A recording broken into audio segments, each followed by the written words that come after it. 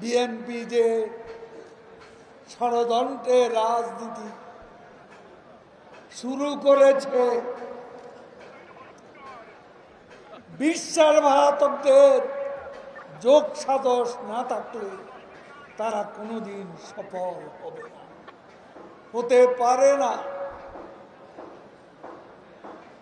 তাই আজকে আমাদের মনে রাখতে হবে বেহুলার বাসর ঘরে।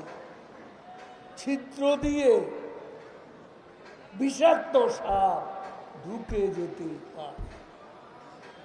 এই বিষাক্ত সাপগুলো সম্পর্কে সাবধান থাকতে হবে। সাবধান হতে হবে। আজকে ফখরুল সাহেব লজ্জা করে না? বাকশালের বিরুদ্ধে কথা বলে।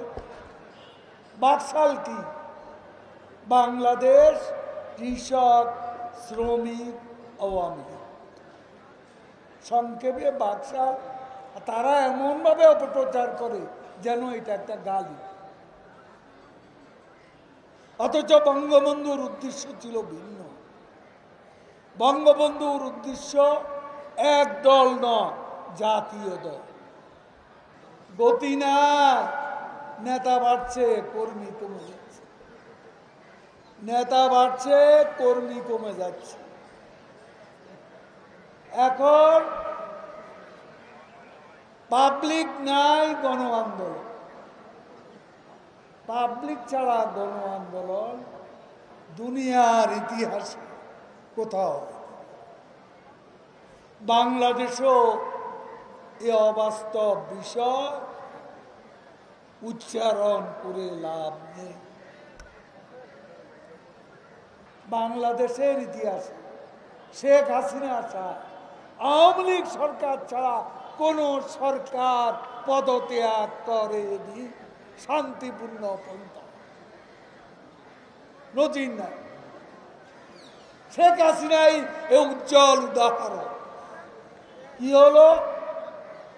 তিনি পদত্যাগ করে বাসা, গণভবনে আসার আগেই এখানে এসে দেখলেন অন্ধকার।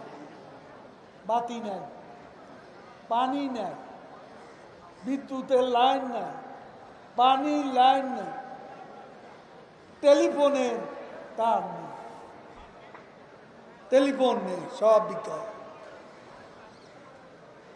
অপমান এই কি তত্ত্বাবধায়ক সরকার? এই ধরনের তত্ত্বাবধায়ক সরকার বিএনপি দাবি, আমরা এটা মানি না মানি না, মানব। পরিষ্কার কথা।